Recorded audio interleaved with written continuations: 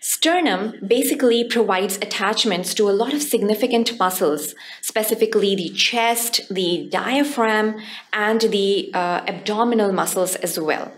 Now, all of these muscles, if you observe closely, they are a part of the breathing process and the expansion of the thoracic cage during inspiration. So, the sternum is basically the core bone which supports the chest wall and it even helps in the process of respiration.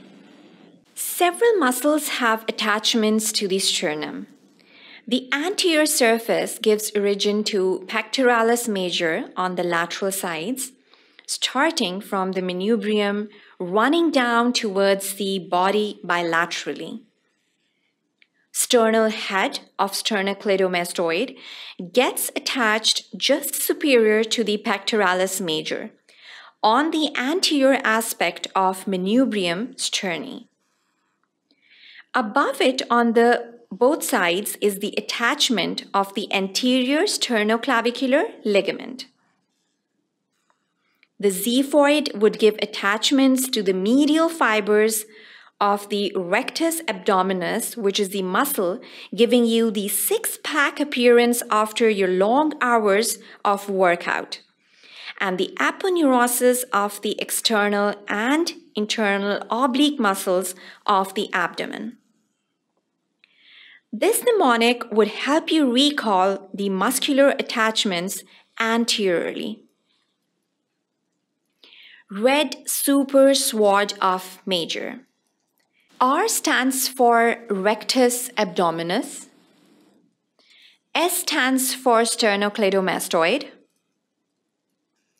Another S stands for sternoclavicular. O stands for the oblique muscles and M is for the pectoralis major muscle. Coming to the posterior part, imagine a little alien hidden behind the sternum.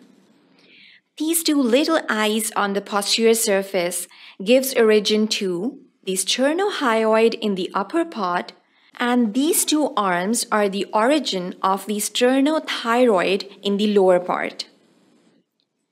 Some of the relations that you have to remember include the arch of aorta, which is related to the lower half of the manubrium, the left brachiocephalic vein, the brachiocephalic artery, the left common carotid artery, and the left subclavian artery is related to the upper half.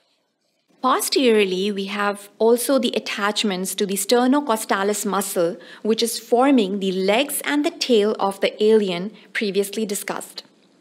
The posterior surface of the xiphoid gives attachment to the slips of the diaphragm. On the lateral aspects, in between the facets for articulation, there is attachment for the external and internal intercostal membranes. The aponeurosis of internal oblique attachments of transverse abdominis muscle takes place at the xiphoid. The suprasternal notch gives attachment to the lower fibers of the interclavicular ligament and to the two subdivisions of the investing layer of the cervical fascia.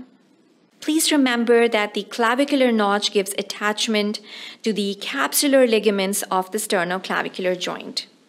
So I hope it's a piece of cake now to recall the muscles on the body of the sternum that are the pectoralis major and sternocostalis.